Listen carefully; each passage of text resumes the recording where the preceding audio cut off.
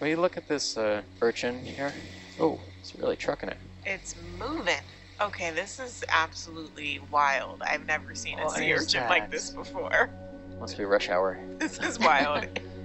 he definitely has somewhere to be. Never seen one move this fast. Oh my goodness. I, me neither. I've never seen one move this fast. They, they're usually pretty lazy. So this is a sea urchin Gotcha. uh, called Phormosoma, and uh, Oh, it has okay. these modified tube feet. It's Some lazy boats dog. on top of it. Oh my goodness. I want to know what the function is.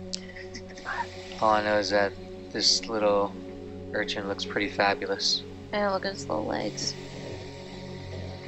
And those appendages on top. Like, what? Yeah.